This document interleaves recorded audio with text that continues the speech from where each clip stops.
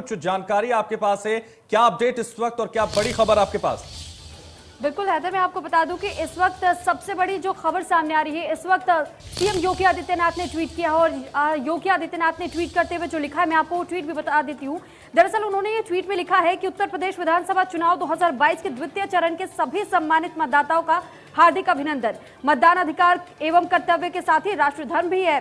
और दंगा मुक्त एवं भय मुक्त नए उत्तर प्रदेश की विकास यात्रा को अनवरत जारी रखने हेतु मतदान अवश्य करें। यानी कि एक बार फिर से सीएम योगी आदित्यनाथ ने यहाँ पर लोगों से अपील की है कि अपने मतों का प्रयोग करें क्योंकि बहुत ज़्यादा ज़रूरी हो जाता है कि अगर आप सत्ता में परिवर्तन चाहते हैं या फिर विकास की गति पर आप और प्रगति की रफ्तार से बढ़ना चाहते हैं तो फिर ऐसे में ज़रूरी होता है कि आप अपने मतों का प्रयोग करें मतदान केंद्रों तक जाए। और सुबह सात बजे से हम देख रहे हैं कि मतदान केंद्रों पर हर कोई पहुँचने की कोशिश भी कर रहा है। ऐसे में एक और बड़ी खबर मैं आपको यहाँ पे अगर बता दूँ, हैदर तो ये जो बड़ी जानकारी सामने आ रही है कि दूसरे चरण के लिए पचपन सीटों पर मतदान तो एक तरफ़ हो ही रहा है, लेकिन